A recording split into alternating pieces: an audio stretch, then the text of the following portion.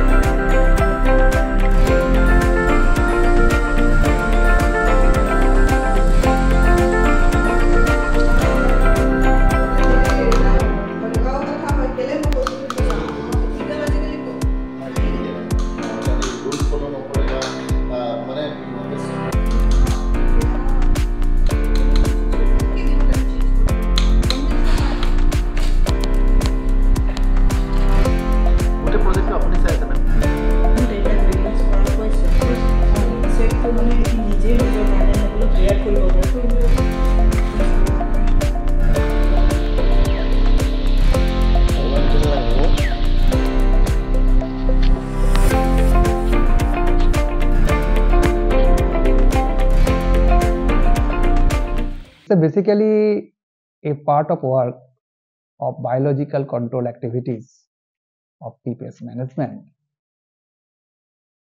This is basically uh, we are mass rearing the natural enemies. Natural enemy means it's a beneficial insect. This insect eats some harmful insect like pest. We have collect this insect from the ecosystem of Assam and we develop uh, the technology how to rear it in the laboratory condition. So this technology more or less standardized and we have released some insect to the commercial garden and are waiting to see the effect of that. So side by side we can help tea garden to giving a training to their uh, educated uh, mm, workers, those who have a basically HS degree along with some knowledge and interest, basically interest in this type of works, they can come to Tocklai. They can take training how to rear it. It's a very easy technique, but it requires patience. If some people, uh, some garden, they put some people here, they can come here, they can took training and they can mass rear this insect in their garden itself and they can release in the field.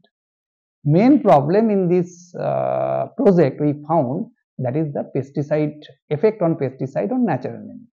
As the natural enemy being a non-target, when we apply one round of contact pesticide, it drastically reduces their population.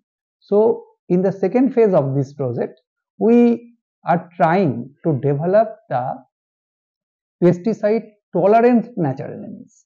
For that, we are exposing uh, insect, our uh, predatory insect with pesticide trace, and we have done the some selection. Hope we can develop some pesticide tolerance insect that can do good duty in this condition of environment.